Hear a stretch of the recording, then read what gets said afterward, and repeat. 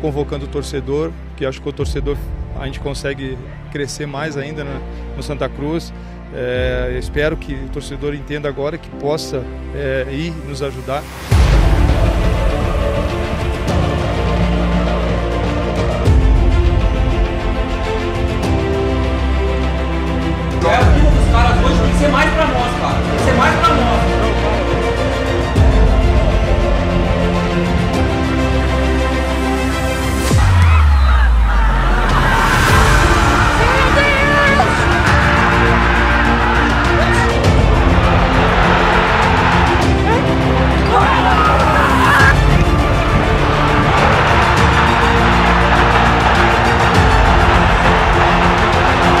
Bola, tá?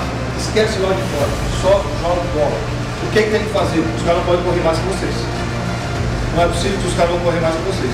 Então bota na cabeça, joga bola.